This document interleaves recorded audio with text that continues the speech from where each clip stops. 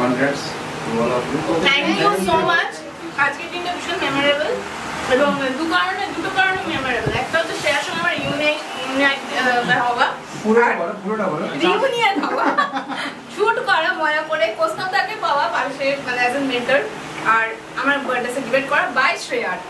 চার নম্বর সেটা বলো।